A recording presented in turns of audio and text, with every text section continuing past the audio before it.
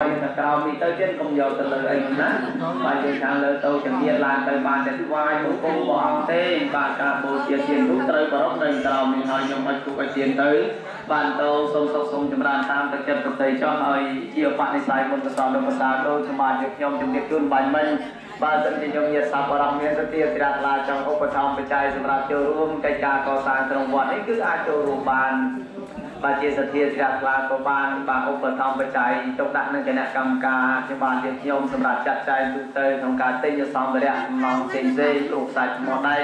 បាទជាពិសេសស៊ីម៉ងតែម្ដងខ្ញុំយកចង់ឧបត្ថម្ភស៊ីម៉ង1ការ៉ុង25000រៀលដាក់ឡើងដល់វត្តទេណាបាទមានសធាជ្រះថ្លាចង់ឧបត្ថម្ភ